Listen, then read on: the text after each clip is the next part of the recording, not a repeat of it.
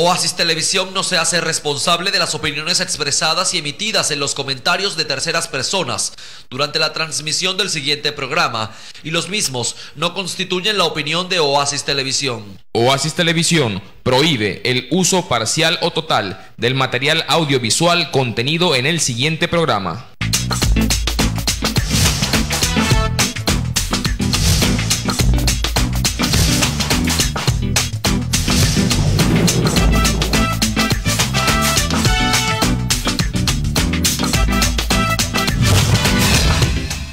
¿Qué tal amigas y amigos de todo el oriente venezolano? Soy Marco Antonio López Barreto y esto es Compendio a través de Oasis Televisión solo para gente como tú. Hoy vamos a tener un programa bien interesante porque vamos a contar con dos jóvenes políticos, eh, representantes pues por supuesto de la juventud de cada uno de los sectores en los cuales lamentablemente nuestro país se ha visto dividido es, por un lado, el director político de, el que vamos a tener en primer lugar, eh, director político del Partido Socialista Unido de Venezuela, aquí en el municipio Bolívar, él es Alberto Gago, y vamos a tener después, los vamos a, intercalar eh, para que cada quien exprese sus puntos de vista de una forma equilibrada, como caracteriza compendio, ¿verdad? Eh, vamos a tener también a Juan Ángel Aces, que es dirigente estudiantil de eh, perteneciente a la Universidad de Oriente, Núcleo Oriente, y que forma parte del Partido Primero Justicia. Así que vamos a tener las dos visiones juveniles en este momento en, eh, en Venezuela y sobre todo en nuestra región. Una vez más le damos la bienvenida a Alberto Gago, que han estado en varias oportunidades y me estaba comentando cosa, una cosa que es cierta, que cada vez que él viene siempre hay eh, una especie de debate con otro, con otro, con otro joven de la oposición. No así cuando vienen otros jóvenes de, de, A él le toca siempre la batalla. Bienvenido, hermano. Bueno, Marco, yo presumo que te gusta la dinámica, la ah, dinámica del debate cuando hemos asistido a tu programa. Bueno, muy buenas tardes, un saludo especial a todos los televidentes, telespectadores que nos observan y buen provecho para todos ustedes. Gracias por la invitación, Marco, una vez más, como te lo decía, eh, fuera de cámara, fuera del aire. Esto es una ventana participativa, informativa, para todos los sectores de cualquier de político. Así lo manifiesto, así lo expreso, de verdad, con mucho beneplácito, con mucho cariño. Fíjate, ahorita tenemos eh, diferentes temas, diferentes temas para expresar, para conversar, diferentes elementos que están aconteciendo no solamente en la política municipal, estatal, sino también en el acontecer nacional. Por ejemplo, eh, se ha escuchado muchos elementos de atriba eh, por algunos sectores del sector de la oposición específicamente, referente o refiriéndose al, tema de la Asamblea Nacional Constituyente.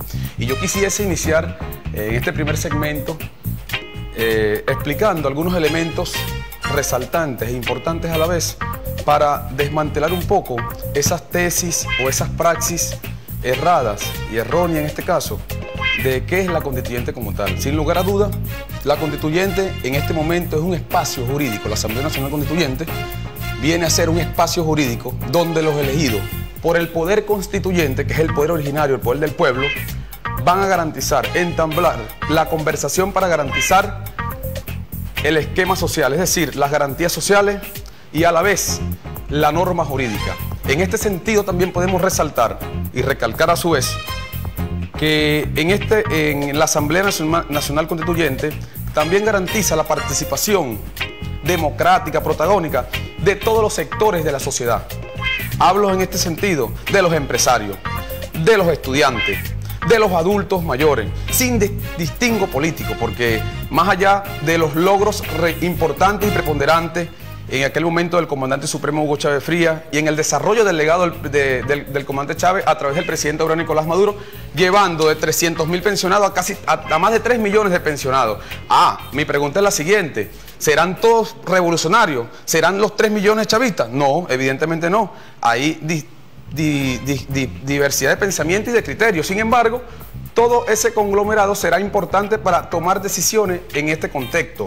Adicionalmente, podemos decir que en su articulado, en este caso en la Carta Magna, se encuentran reflejados todos los mecanismos esenciales y necesarios para lo que es la enmienda, la enmienda constitucional, la reforma constitucional de la misma y a la vez la transformación de nuestra Carta Magna o nuestra Constitución Bolivariana de la República. De igual forma, debo resaltar y recordar que para el año 2007, recuerdo perfectamente, cuando el comandante Hugo Chávez solicitó, eh, en este caso, ir a la reforma constitucional en el año 2007, la perdimos por un margen pírrico, reconocimos el resultado, reconocimos nuestra, nuestra primera derrota. Desde el punto de vista electoral, eh, reconociendo también ese poder, que el poder electoral, al frente de la compañera, la ciudadana y Lucena, la doctora, pero de igual forma trascendimos, de igual forma trascendimos al año 2009, donde una vez más se aplicó uno de los elementos resaltantes, en este caso el mecanismo de la Constitución para impulsar lo que fue la enmienda constitucional, recuerda Marco, en el año 2009 y evidentemente la ganó la revolución, la ganó el comandante Chávez. En este caso, fíjate, ¿por qué se convoca a una Asamblea Nacional Constituyente? Bueno, sin lugar a duda el presidente de la República ha manifestado desde el año 2013 que em, empezaron con, esta diatriba, eh, lo importante de crear la mesa de diálogo, sentarse para garantizar el diálogo, la paz. Sin embargo, elementos de la oposición, que no, no todo el conglomerado de la Mesa de la Unidad Democrática hizo una serie de propuestas y planteamientos, como una amnistía, como una, e incluso ellos plantearon en el 2014 ir ante una asamblea, llamar a una Asamblea Nacional Constituyente. En el 2014 lo hizo el pronunciamiento lo hizo Freddy Guevara, lo hizo María Corina Machado, de igual forma lo, lo, solicitó Leopoldo López, entre otros factores que inciden en la política de los sectores de oposición. Sin embargo, en este momento coyuntural, ¿Tú crees es convocada la Asamblea Nacional este Constituyente. en pero fíjate, en nuestro país es un momento apropiado para una cuestión tan trascendental, tan fundacional del Estado como una Asamblea Nacional Constituyente. Para una Asamblea Nacional Constituyente no se necesita un apoyo mayoritario, no la idea de un jefe de Estado para el diálogo, sino que surja de la base realmente. ¿Por qué, ¿Por qué esa inversión? del origen en este momento tan complicado. Marco, lo que pasa es que Marco, lo, que pasa es que los elementos que estás expresando están basados en la constitución del año 61. Sin embargo, no, no, no, como 99. no, no, no, no, pero déjame conversar, Marco, yo no te estoy interrumpiendo, porque si no me convierto en una metralleta, bueno, de, Por eso, de oratoria y liderazgo pero, y léxico. Pero, te tengo que atajar para hacer precisiones. Un momento, un momento, fíjate, como te lo vengo desarrollando y explicando, dejé la constitución allí, pero te lo voy a manifestar de manera textual. Dime qué quiere. Fíjate, el artículo 348. El 300. El 348. ¿Por, qué ustedes le saltan al 300? Ya va. Ustedes se saltan el 347 siempre. Bueno, vamos, vamos, a iniciar por el 5, pues. Ah. vamos, eh, vamos a iniciar por el 5, pues. El 5, el 5. Ajá, el 5. No, pero yo tengo aquí el, 300. La soberanía reside de manera intransferible en el pueblo. Empezamos por el 5, ¿verdad? Exacto. Entonces, sí, el poder es. ¿Quién es? Mira, fíjate. Vamos, Mira, pero ve, vamos, vamos al inicio. Vamos al inicio, ve, fíjate. El presidente de la República constitucionalmente está convocando un diálogo. ¿Para qué? Para garantizar la paz, la estabilidad y bueno, el reimpulso de las debilidades que hoy tenemos. Sí, pero Sin la duda alguna. La constituyente no es un vehículo de diálogo. ¿Cómo, ¿Cómo tú me decís No, hermano, oye, oye. Escúchame. Es, la Nacional Constituyente tiene como objeto transformar el Estado, crear un nuevo ordenamiento jurídico y redactar una nueva constitución. No ¿Qué dice, significa eso? No dice modernización, evolución. no dice dialogar, hermano. Dice modernización, evolución. Fíjate, ve. No trates de persuadir ni confundir. En, 18 años, esta no, constitución ya perdido persuadir. Bueno, yo también voy a intervenir al igual que tú. Pues, fíjate, ve. No, porque yo te he dejado bastante, casi toda la mitad del, conversado del, del segmento. Fíjate, tú. Fíjate, ante, ante el llamado del presidente al diálogo, se cierra el juego, simple, simple y sencillo, se trancó el juego. Se trancó el juego porque los sectores de oposición de ultraderecha y el gobierno bolivariano convocando el diálogo, ellos abandonaron la mesa y no quieren retomarla. Ah, colocando unas, una, eh, implementando, tratando de implementar una serie de argumentos favorables a ello. Y cuando uno se siente en una mesa de diálogo es precisamente para, oye, dialogar y bueno, eh, tú con esta propuesta, nosotros esta, y, lo importante es lo democrático. Y el gobierno que está presidente, Pero el presidente consiguió una salida constitucional, democrática, participativa y protagónica, expresada en nuestra Carta Magna, en la Constitución, que los mismos sectores de oposición discriminaron, repudiaron, rechazaron que fue la Constitución no es Ahora, con su descaro, con su, mira, desfachatez, dicen que, van a, que vamos, en este caso la Revolución Bolivariana, el presidente Nicolás Maduro, vamos a acabar o a pulverizar la constitución del comandante Chávez. ¿Para qué? ¿Por qué lo dicen? Para contradecir, contradecir a nuestro pueblo, para confundirlo, porque sin lugar a dudas, con esas nueve propuestas del, del comandante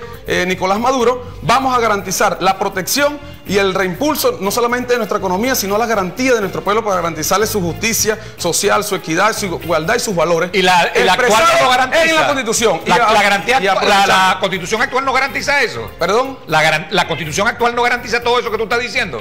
No lo garantiza. Lo garantiza y, y escúchame, lo garantiza y están cometiendo esos atropellos nefastos, obstruyendo, no solamente. pero pero no, ese- escúchame, ese- pero eso está ese- marcado. es el Pero pueblo que está mira, haciendo mira, eso, no ¿cuál el pueblo? ¿Cuál ¿Cuál pueblo? Por ejemplo, te pongo el sector, ya que el, entrev- el- el- el- el compañero que vas a entrevistar es estudiante en la Universidad de Oriente. Te, te pongo un ejemplo. El municipio Simón Bolívar tiene 88 mil estudiantes. De los 19 instituciones académicas, tanto autónomas, experimentales, institutos privados públicos, para su conocimiento. Ahora, ¿cómo se justifica que poco menos de 300 bachilleres, porque tengo las gráficas incluso del periódico Oriental del Tiempo, ¿no? El diario El Tiempo, entre otros factores, conchale, que uno tiene amigos que, no, que se pronuncian en contra de eso, Ah, incluso las autoridades competentes del núcleo de la Universidad de Oriente y de los otros recintos académicos privados están en contra de, de- de- de- de esa participación nefasta, porque, mira, el, artículo 57, algo así lo de, de la Constitución Bolivariana, Ajá. también lo expresa y lo manifiesta que estamos en, en el derecho, en el derecho. De salir a, a- a garantizar una protesta, pero desde el punto de vista pacífico. Pero cuando tú aplicas una barricada, así como aconteció en el día de ayer, en todos los epicentros, las avenidas principales del municipio Simón Bolívar, cuando tú obstruyes el paso para que un, Tenemos que ir un enfermo a- se traslade directamente a un recinto hospitalario, evidentemente tú estás sesgando y cercenando el derecho a la vida y a la salud y violándole sus derechos en este caso. Pero en otro sentido, para concluir este primer segmento, Dime. mira, ante Rapidito. la imposibilidad del derrocamiento del presidente Nicolás Maduro, evidentemente no- sectores no- extremistas de la oposición de tomaron la tiempo, iniciativa Alberto. de calentar la calle, de alterar el orden público y por supuesto generar la zozobra, el terror desde el punto de vista psicológico en nuestra gente y más allá de lo material Bien, y de lo listo. Vamos un momento a publicidad y ya volvemos a Compendio a través de Oasis Televisión, solo para gente como tú. Estás viendo Compendio.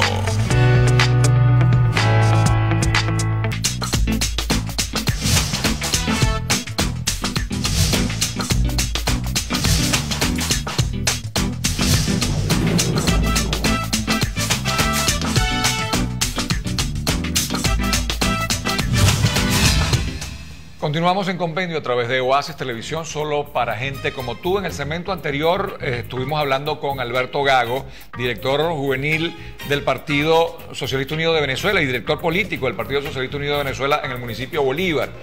Eh, y expresó alguna digamos, opiniones acerca de lo que está sucediendo en este momento. Habló de la Asamblea Nacional Constituyente, ese llamado que hizo el presidente Nicolás Maduro. Y este, mientras tanto estaba escuchando atentamente Juan Ángel Aces, dirigente estudiantil de la UDO y director juvenil del partido eh, Primero Justicia aquí en el estado de Anzuategui. Así que vamos a darle la oportunidad ahora a él de expresar sus opiniones con referente a lo que manifestó anteriormente Alberto Gago, pero sobre todo me interesa este, algo que Alberto dijo al final, casi al final de su intervención, y es que la, la cantidad de estudiantes que está saliendo a manifestar no es representativo del número de estudiantes que existen realmente aquí en- en nuestra región. Bienvenido a, Compendio, Juan, Ángel. Muchas gracias Marco, debo dar las gracias y además motivado a que se abran estos espacios de debate.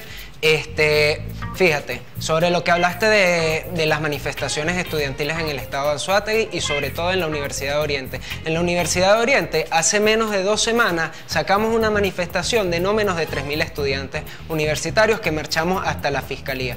En la Fiscalía lo único que pedimos fue justicia, justicia por hechos que habían pasado, hechos violentos que pasaron dentro de nuestra universidad y que aún al sol de hoy seguimos exigiendo justicia porque no, no han podido atrapar y no se ha hecho justicia sobre esas personas que, cometieron actos violentos contra otros estudiantes. Sobre la constituyente, la constituyente no es ni democrático ni es una constituyente en la forma en la que lo quieren plantear el gobierno.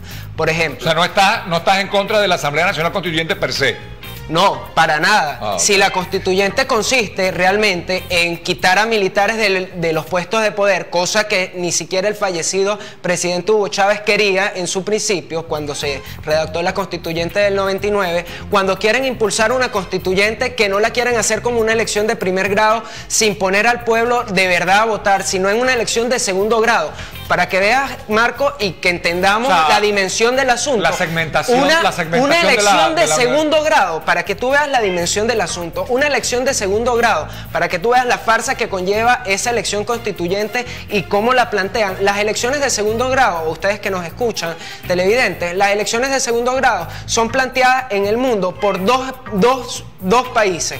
Los países donde se, los países como Estados Unidos, donde las personas se abocan a colegios electorales y esos colegios electorales son los que votan por el presidente y los países con regímenes par- parlamentarios, como no es el caso nuestro, nuestro caso todos sabemos que es una constitución basada en un régimen presidencialista, donde las personas eligen a sus parlamentarios y desde ahí, desde el Parlamento, se elige al presidente. No es nuestro caso, nuestro caso tiene nuestro caso latinoamericano en especial es una constitución hecha democráticamente.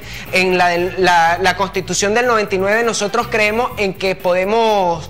Podemos debatir mucho sobre ella, tenemos aspectos en los que no creemos, pero creemos que es una constitución que sí nos da el espacio para manifestarnos, para hacer un encuentro, para hacer un diálogo, pero un diálogo de verdad, un diálogo donde el gobierno demuestre que de verdad quiere diálogo y que realmente quiere ser el principal impulsor de la paz. Hoy tenemos un gobierno que lo único que hace, tiene como política de Estado es matar estudiantes, Marco. O sea, no vemos, no vemos como otra cosa que en 50 días de protesta, y vaya que hay que decirlo, son 50 días de protesta, gente en las calles, gente que deja de ir a su trabajo, gente que hace sacrificios.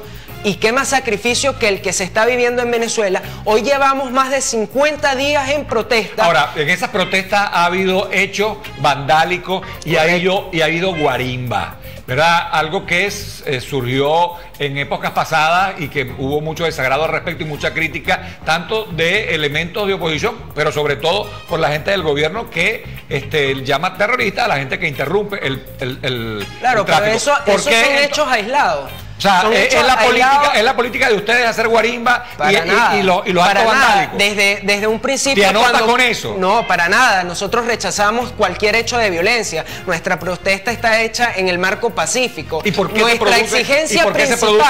nuestra esas exigencia esa- principal es que podamos darle al pueblo, al pueblo, podamos darle la, oportunidad de votar, que nos contamos. ¿Cuál es el miedo a, a contarnos? ¿Cuál es el miedo a que los ciudadanos podamos de nuevo volver a ir a las urnas electorales y decidamos poner ahí en los puestos de poder a las personas que nosotros queremos que nos sirvan? Porque además esa es otra cosa. Aquí se ha entendido el poder como un negocio como un negocio. Hoy vemos cómo en la faja petrolífera del Orinoco sacaron al gerente de, de PDVSA porque estaban haciendo negocio y a partir de eso se vincularon con él alcaldes, gobernadores. Hoy tenemos un poder que no nos sirve Hablando de- a ningún de ciudadano. Pedro León. De Pedro León y de todos los demás enchufados que conllevó la detención de Pedro León. Aún no vemos a Pedro León, aún no- vemos a Pedro. León detrás de las cárceles. Aún no vemos a Pedro León detrás de la cárcel, pero todos los venezolanos sí sabemos que tienen nuestro dinero.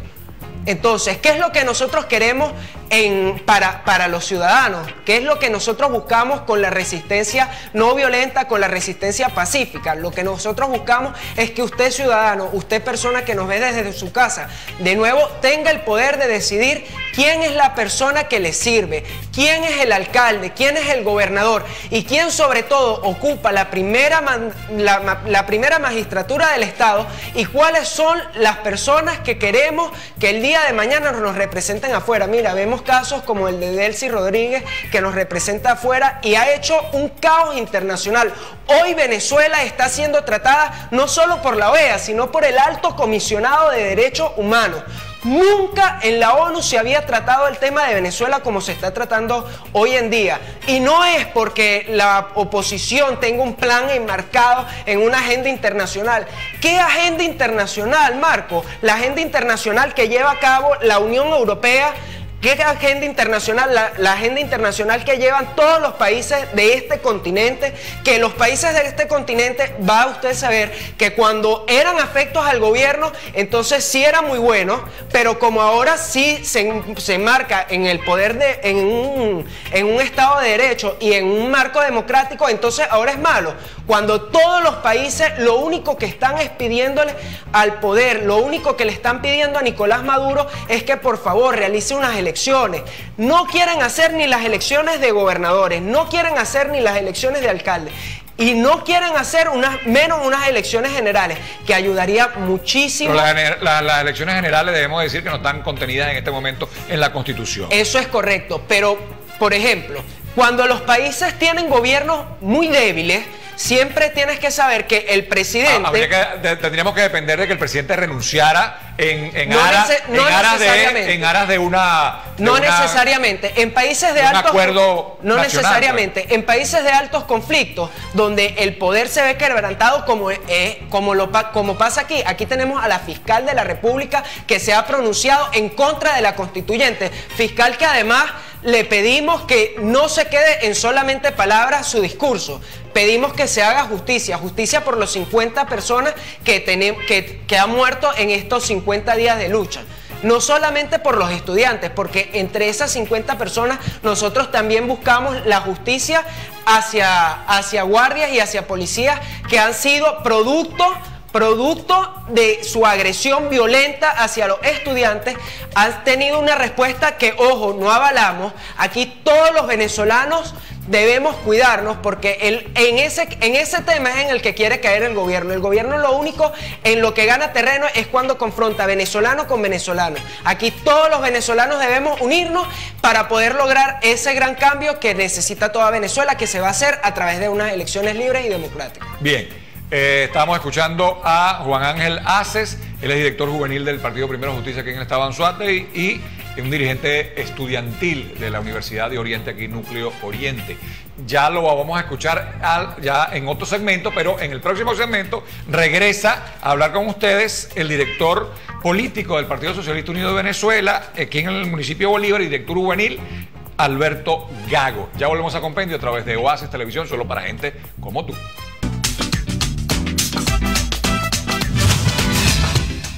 Continuamos en compendio a través de Oasis Televisión, solo para gente como tú.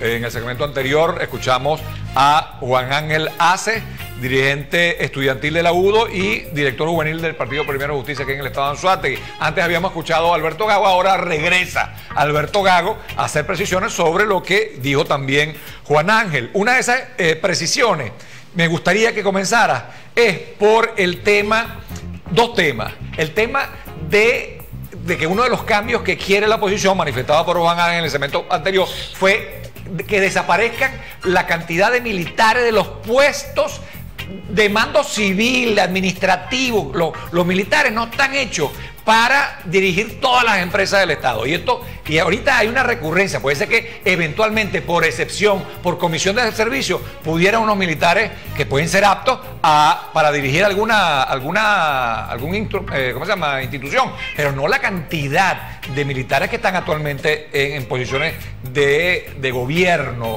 civil. Y por el otro lado, la, que me analicen la posición de la fiscal general de la República, que durante mucho tiempo fue una adepta fiel, leal al proceso y ahora parece que por haber opinado en contra ya no lo es, ya es una mujer de desnable.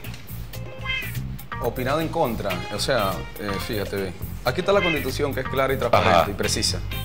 Lo que manifestó la ciudadana Luisa Ortega Díaz está fuera del contexto constitucional. Y lo podemos demostrar, si quiere, fuera O sea, del- la del fiscal general Fíjate. está fuera de la ley, ella es la que está fuera de la ley. Por supuesto, porque después su, ella... planteamiento, su planteamiento de no. Oye, estamos de fregados no, aquí en el su, país, No, su planteamiento Ah. de no ir. Ah, por cierto, la misma, a la misma fiscal que ustedes cuestionaron hasta hace una semana. No, no, y la sigo va, cuestionando. la Que la cuestionaron hasta, una, hasta hace una semana por la impunidad, entre otros elementos. No me nombres a mí porque yo solo la sigo- yo no, la pero sigo yo hablo de cuestionando. manera genérica. Ah, pero ahora, ahora es la, la fiscal más querida.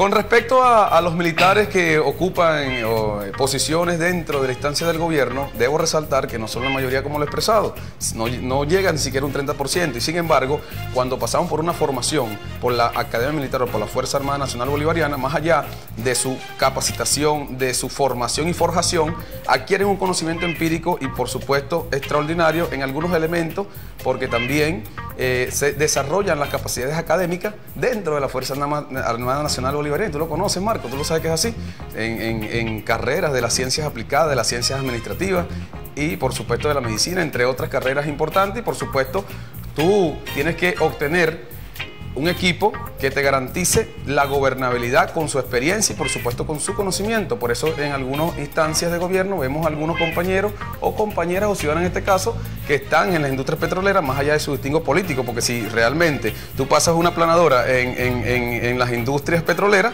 bueno, ahí no va a quedar casi nadie. Y, por, y para responder también unas preguntitas o, o unos elementos que puso el compañero Juan, yo quisiese iniciar por esto, ¿verdad? Yo le exhorto para que investigue un poco más y revise los mismos planteamientos contradictorios de sus seguidores. En este caso, por ejemplo, Freddy Guevara, Leopoldo López, María Corina Machado, entre otros, solicitaron en el año 2014 una Asamblea Nacional Constituyente. Así es.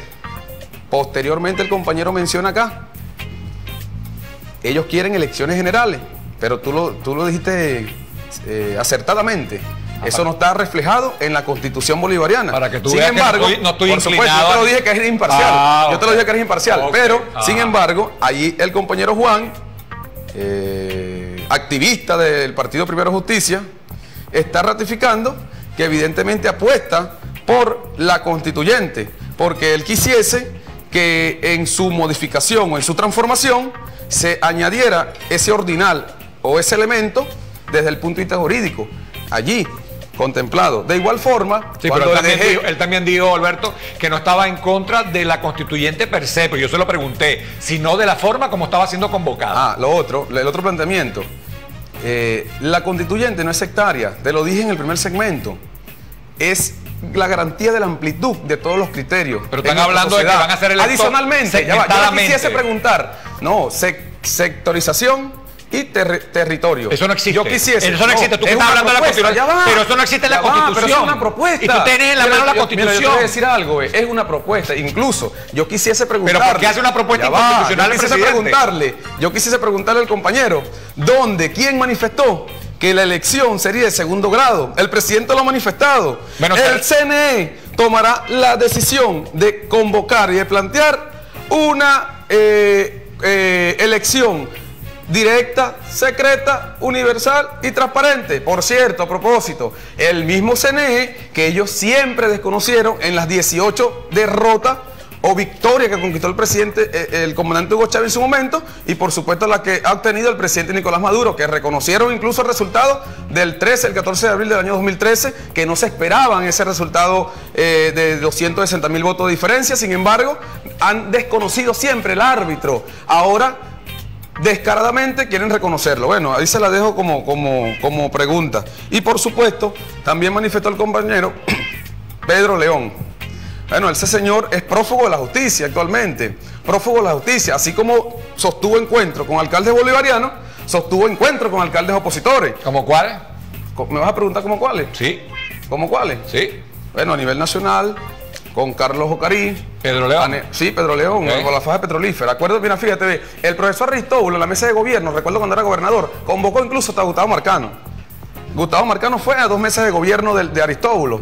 Y Pero eh, tenía Fabio negocio, Canache. pero tenía Fabio negocio Canache. Carlos Ocariz con Pedro León. Ah, pero eso, es- eso yo no lo sé, porque el, el Ah, no, compañero pero- no planteó tampoco que tenía negocio, o sea, o, o- o que demuestre lo contrario, porque eso se llama difamación. Yo no voy a decir que eh, Gustavo o entre otros tenían negocio con Pedro León, pero tampoco voy a decir que algunos alcaldes de la revolución tenían negocio con Pedro León, porque yo no tengo las pruebas y eso se llama difamación desde el punto de vista jurídico, No, desde el derecho. Ahora, si el compañero las tiene, que se presente al Ministerio Público, a la Fiscalía y a proceder sus su, denuncias como tales. Ajá. Bueno, fíjate, ve, el compañero también expuso que la supuesta manif- manifestación pacífica, bueno, yo me acosté en el día de hoy, miércoles a las 4 de la mañana, porque lamentablemente los compañeros llamaron a plantones en la avenida Cajigal, en, seis puntos neurálgicos del municipio de Simón Bolívar, por ejemplo.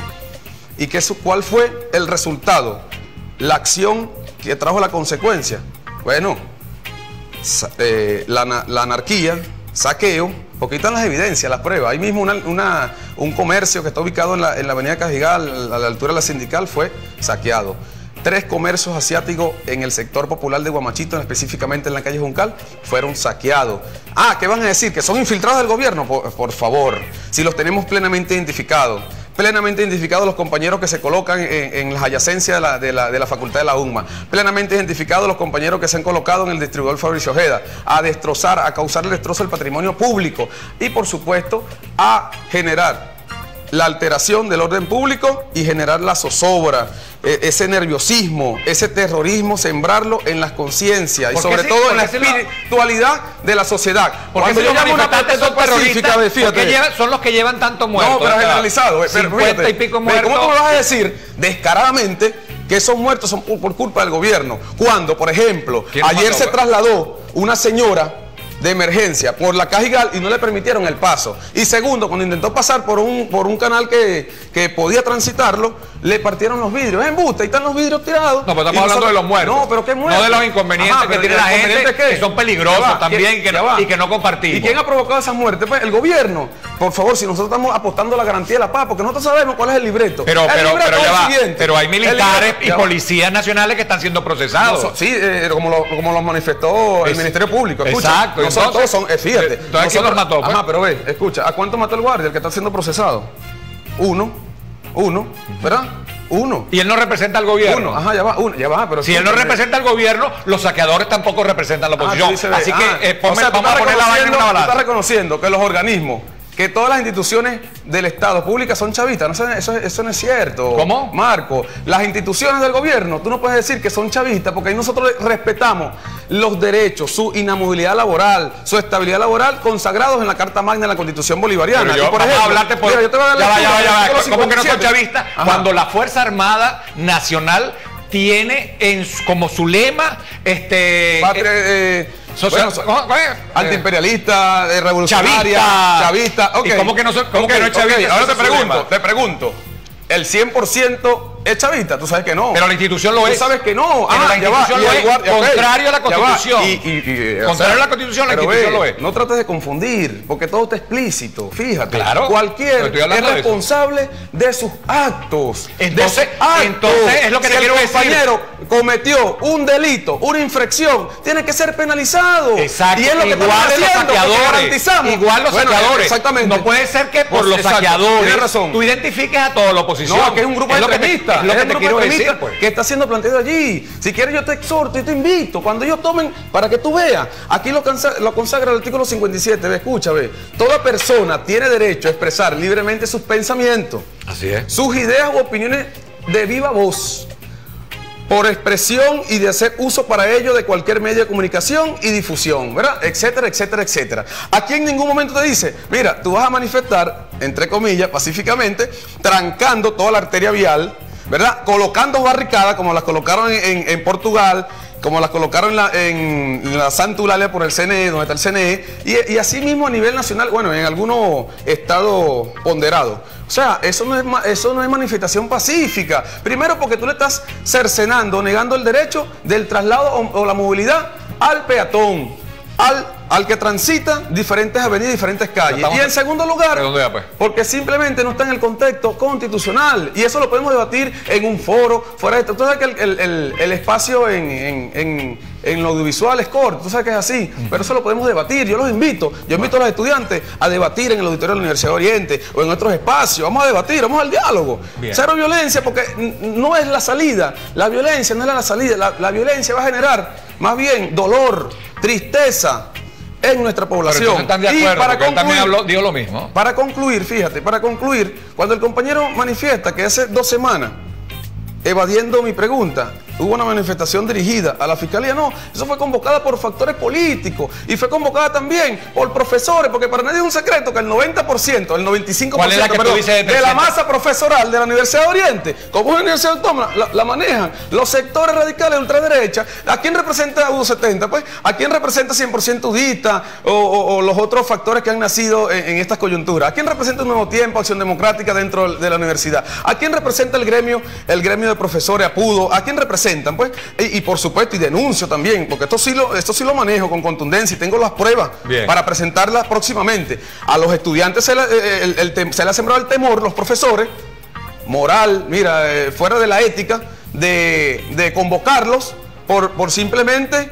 o le colocas un punto o lo raspas. Eso, eso, no, eso no, Muchas no gracias. Alberto. Y no llegan ni a 300, lo repito. Yo, bueno, yo, yo lo voy a ver. Yo quiero, yo quisiese que convoquen de esos Muchas 20 mil estudiantes, por Gago, director juvenil Que ni siquiera representa, bueno, el 2%. Partido Socialista Unido de Venezuela y director político por su visita hoy a nuestro programa. Gracias, Gracias, Marco. te volveremos a invitar, ¿verdad? Aquí. Gracias, Marco. Y ya volvemos con el cierre con Juan Ángel Ace, que le toca su eh, momento aquí en Compendio. No se parten, que ya volvemos a Compendio. Continuamos en Compendio a través de Oasis Televisión, solo para gente como tú. Y ahora, como les anuncié en el segmento anterior, vamos a escuchar lo que tiene que decir de lo que opinó en el segmento anterior Alberto Gago. Vamos a escuchar a, Juan Ángel Ace y que hemos estado en este programa alternando sus opiniones acerca, sus opiniones juveniles de- de- de muchachos eh, metidos en la política, cada quien eh, pues con sus eh, creencias y sus ideales del lado en que están militando, por supuesto, pero con una visión, estoy seguro, los dos, del bienestar de nuestro país. ¿Qué, tú escuchaste lo que dijo eh, Alberto Gago. ¿Qué, qué opinión tienes al respecto en alguno de los temas? Pues? Fíjate, hoy Venezuela, los jóvenes creemos que está secuestrada por un poder que no nos representa. Hoy nosotros queremos poder decidir quién es el quién quién nos va a dar ese futuro que los jóvenes estamos buscando. Marco, yo en especial quiero volver a vivir la Venezuela que tú también quizás viviste. No, la que la. Venezuela que escuchan televidentes, la Venezuela donde podías dormir con la puerta de, con la puerta de tu casa abierta, que no había problema. La Venezuela en la que a las 12, 3 de la mañana podías salir tranquilamente y echabas el dominó con el vecino en las calles de tu casa. Una novia que yo tenía en Las Garzas. Cuando era chavo, me venía a pie a las 11 de la noche caminando hasta mi casa en lechería de Las Garzas o pidiendo cola. Eh, ¿Ustedes saben lo que es eso? Pedir cola.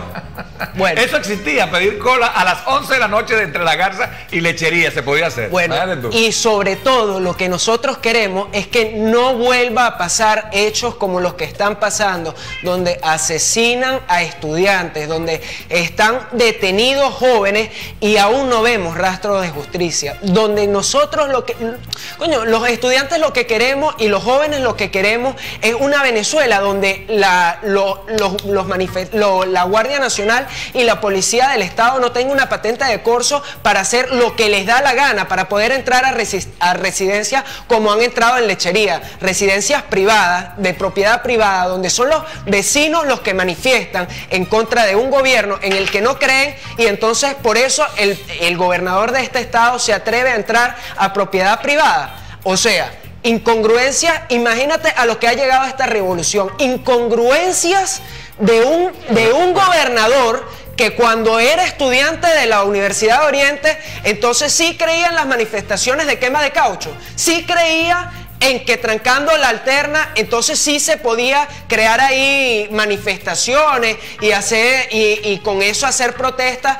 Y la Universidad de Oriente y el Hospital Racetti siempre han estado en el mismo lado. Entonces, tenemos que comenzar a pensar y, come- y comenzar a tender puentes, que es lo que sobre todo, está exigiendo Venezuela. Pero crear puentes sobre qué? Y es ahí donde reside todo el problema que yo creo que se ha transformado la política. Tenemos que crear puentes para que los ciudadanos vuelvan a poder elegir a sus mandatarios, para que los venezolanos hartos de esto que está pasando, podemos, podamos elegir a quiénes son nuestros gobernadores. Mira, no hay explicación alguna para que los alcaldes y gobernadores que ya están vencidos, que ya tienen su periodo vencido, no se hagan las elecciones. El gobierno sigue en un tema de validar partidos políticos. Después de validar partidos políticos se inventó esto de la constituyente. Y después cuando la morisqueta no le salga, ¿qué? Esto es un gobierno que se inventa guerras económicas, que se inventa guerras mediáticas, que se inventa guerras guerras convencionales y no convencionales, guerras internacionales, que si la burguesía. Este es un gobierno que cada vez que se siente débil inventa una guerra y cada vez que se siente débil hace un argumento para poder sostenerse en él. ¿Por qué? Porque es un gobierno débil sobre la constituyente. Los procesos constituyentes, para todos los que nos escuchan, los procesos constituyentes son convocados por lo general cuando un presidente o un poder se siente fuerte. ¿Por qué? Porque su naturaleza es obvia y así lo refleja nuestra constitución. el poder constituyente debe basarse cuando el pueblo, cuando el poder tiene suficiente arraigo en el pueblo, como si lo tenía Chávez en y su sobre momento. todo, mira, fíjate, discúlpame que te interrumpa. Este, pero las, constituciones y las constituyentes ocurren después de un hecho político, no para propiciar un hecho político. Eh, el hecho político en el 99 fue la llegada del comandante Chávez, como dicen los chavistas, al gobierno. Ok. Y después de ese evento político surgió la constitución. Así es que ocurre, ese es el, el, el, orden, no antes. Y en este momento, lamentablemente, te, tengo que dar la razón, se está invirtiendo. Correcto, y además se tiene que sustentar sobre un gobierno fuerte, que eso es lo importante que sepamos. Es sobre un gobierno fuerte. El gobierno tiene, tiene que ser fuerte. ¿Por qué? Porque sobre la constitución no se va a decidir más nada, sino toda la ley por la que nos vamos a regir, todos los ciudadanos. Sobre el tema militar, que es un tema fundamental en el poder. El poder de la república, porque Venezuela sigue siendo una república. La república es consagrada por el gobierno de los civiles, nunca de los militares. Los militares en sus cuarteles, como lo dice nuestra constitución. Constitución que, por cierto, no avala la, Fuerza Armada Nacional Bolivariana. La, la constitución no la apellida nunca. La constitución avala una Fuerza Armada Nacional. ¿Qué significa eso? Que no está enmarcada en ningún ámbito. ¿Por qué? Porque no está enmarcada en los ámbitos bolivarianos como la quieren enmarcar. No porque la oposición tenga ámbito en contra del bolivarianismo o en contra de, los próceres, no, sino que la, constitución no puede estar apellidada porque es una constitución de todos los venezolanos y en su marco nos debemos regir todos los venezolanos de cualquier pensamiento. Imagínate que una persona tuviera, eh, pensamientos contrarios al bolivarianismo entonces, ¿qué? ¿Está desenmarcado de la Constitución habiendo nacido aquí en Venezuela? No, la Constitución está hecha por todos los venezolanos y para todos los venezolanos. Seguimos. El, tema de, la fiscalía y de que hubo poca, hubo poca asistencia y, lo que dice. El compañero que, que, estaba previo a mí tenía mucha razón en que la mayoría de los, eh, de los profesores, el 90% de los profesores realmente son de oposición, pero no solamente el 90% de los opositores, son el 90% de los venezolanos los que queremos un deseo de cambio en este país. No solamente son los profesores. Que los profesores nos acompañan a las marchas. Sí, es cierto. Que los alcaldes de oposición nos acompañan a las marchas. Sí, es cierto. Porque aquí no se trata de, de, sectorizar la protesta como ellos sí quieren sectorizar las votaciones en, la, en las elecciones hacia, lo, hacia la constituyente. Dicen que no quieren sectorizar, que no van a categorizar. No, pero yo voy a ser quien elige a la fuerza del sindicato bolivariano a escoger a, los constituyentistas. Yo voy a hacer que los empresarios, imagínate, empresarios como Pérez Abad, ¿quieren ellos avalarlo? Como, como los empresarios de este país. Pérez Abad, ¿qué ha producido Pérez Abad o qué han producido los, empresarios bolivarianos aquí? Yo te voy a decir que han producido. Aquí solamente se ha producido en este país, en los últimos años de gobierno, de Chávez y también de Maduro solamente se ha producido corrupción, porque todo el aparato productivo de este país se ha aniquilado. ¿Y cómo lo podemos ver? Señores que nos ven en su casa, vaya a su despensa y vea qué, hay en los anaqueles, vean qué hay dentro de las neveras. En las neveras de hoy, de los venezolanos, lo único que encontramos son productos importados. Productos importados que además pagamos a un altísimo costo. Altísimo costo, ¿por qué? Porque al gobierno le es más fácil traer los productos ellos a través de, de negocios sucios que elevan el costo muchísimo más. Y ahí está el caso de las cajas CLAP. ¿Dónde están las cajas CLAP? ¿Cuál es el seguimiento que se le está dando a las cajas CLAP? Porque ahora quieren decir que con el carnet de la patria es que van a poder, poder comprar las cajas CLAP. ¿Qué? ¿Es con acaso ese carnet y el que no lo tenga no va a poder pagar la caja CLAP? Coño, no estamos hablando de algo político, estamos hablando de la alimentación, estamos hablando de la medicina. Hoy no se consiguen en este país cosas como aquí en este país se están, se están suscitando enfermedades que ya la humanidad ha plagado de su, de su existencia. Hoy en este país no se consiguen vacunas, hoy en este país no se consiguen antibióticos, hoy en este país los, los venezolanos, más del 50% de los venezolanos no comen más de dos veces al día, Marco.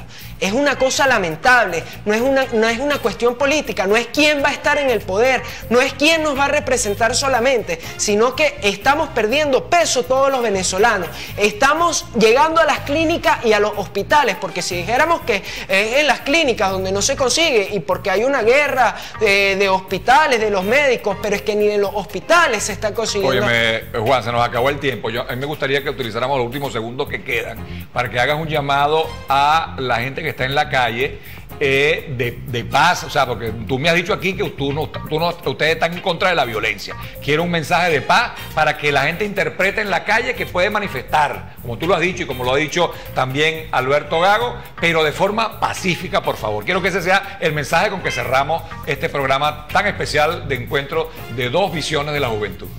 Nosotros los invitamos a todos a que continuemos la protesta. Llevamos 50 días de protesta, el gobierno nos quiere llevar a un territorio en el cual no son, nosotros no somos fuertes, en un territorio de armas, en un territorio de violencia. Nuestra resistencia debe seguir siendo pacífica, nuestra resistencia está hecha en un marco para pedir elecciones. Nuestro principal objetivo es cambiar este país a punta de elecciones pacífica y electoralmente.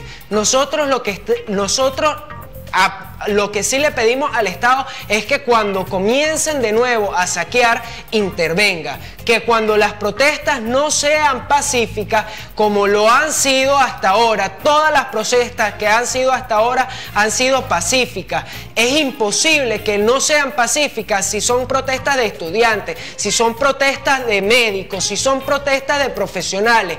Mira, el caso del día, del, del día sábado de la semana pasada, nosotros los estudiantes y la, sociedad civil queríamos llegar a la redoma de Guaraguao y no pudimos llegar. ¿Cuál hubiera sido el hecho que se iba a suscitar en la redoma de Guaraguao? Que íbamos a llegar ahí a cantar el himno y por eso nos reprimieron. Eso es lo que nos estamos buscando. Las protestas deben seguir siendo pacíficas y en un marco electoral. Bien, muchas gracias a Juan Ángel Aces. Él es eh, director juvenil del Partido Primero Justicia aquí en el Estado de También a Alberto Gago, director político del PSUV aquí en el municipio de Bolívar, por su intervención para que nos dieran esas dos visiones de jóvenes de, dentro del panorama que está viviendo nuestro país en este momento. Gracias a ellos, a ustedes como siempre la invitación para una nueva oportunidad cuando estaremos en compendio, pero no se vayan, que Oasis Televisión ha preparado una excelente programación para ustedes. Recuerden, da respeto, recibe respeto. Soy Marco Antonio López Barreto. Gracias por preferirnos.